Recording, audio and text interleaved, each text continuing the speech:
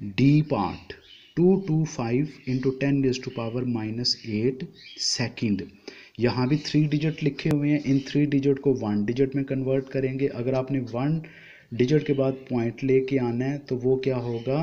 Two two, five divided by hundred और multiply by hundred और ये चीज़ अगर टू टू फाइव को हंड्रेड पे आप कैलकुलेटर पे डिवाइड करो तो आंसर आ जाएगा टू पॉइंट टू फाइव और हंड्रेड को हम लिख सकते हैं टेन की पावर टू टेन की पावर माइनस एट सेकेंड जिस तरह पीछे हमने किया, तीन टेन थे पिछले क्वेश्चन में तो हमने सिंगल में चेंज किया। अब यहाँ पे दो टेन है तो इसको भी सिंगल टेन लिखेंगे और टू और माइनस एट आपस में ऐड या सब्ट्रैक्ट हो सकते हैं।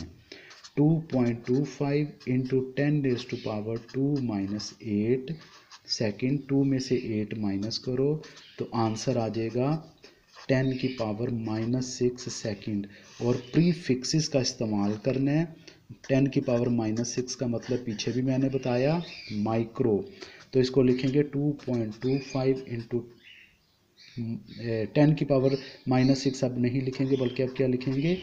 माइक्रो सेकेंड क्योंकि टेन की पावर माइनस सिक्स का मतलब है माइक्रो तो अब माइक्रो की जगह लिख, अब टेन की पावर माइनस सिक्स की जगह लिख देंगे माइक्रो सेकेंड।